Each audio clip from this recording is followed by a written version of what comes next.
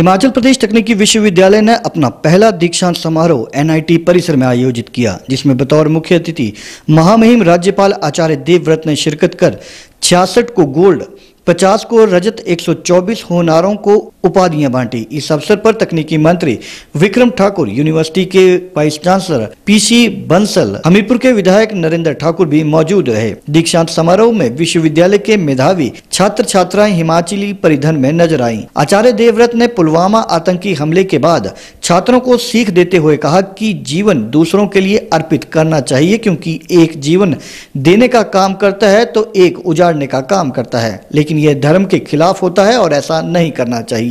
वो कहते लोगों को मारोगे तो जन्नत मिलेगी। और भारत का ऋषि कहता था, तुम अपना जीवन दूसरे को देगो तो जन्नत मिलेगी। एक जीवन लेने का काम करता है, एक जीवन देने का काम करता है। एक लोगों को बचाने का काम करता है, एक लोगों को उजाड़ने का काम करता है। तो हमारे यहाँ धर्म वो था न परेशान न राज्यपाल आचार्य देवव्रत ने मेधावी छात्रों को बधाई देते हुए कहा कि छात्रों की मेहनत का फल है जिससे आज छात्रों को मिल रहा है।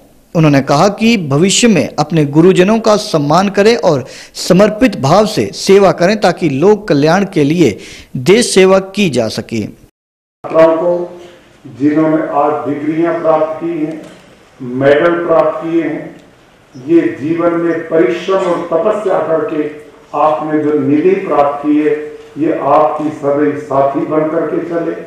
आप हर क्षेत्र में प्रगति उन्नति करें। आपका अपना प्रतिष्ठा और गौरव बढ़े। आपके माता पिता का सम्मान आप बढ़ाएँ। अपने गुरुजनों का सम्मान आप बढ़ाएँ। और जिस देश का अन्न, पानी, जल, हवा हम लेते हैं, उस राष्ट्र के प्रति समर्पित भाव के साथ सेवा करते हैं।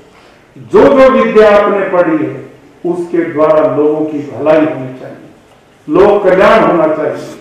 देश की को साइंस टेक्नोलॉजी की दृष्टि से आगे बढ़ाओ। जो जो विद्या आपने पढ़ी है, वो फैलाते रहो, बढ़ाते रहो और लोग का कल्याण करते रहो। धन्यवाद। टुडे के लिए हमीरपुर से अश्विनी की रिपोर्ट।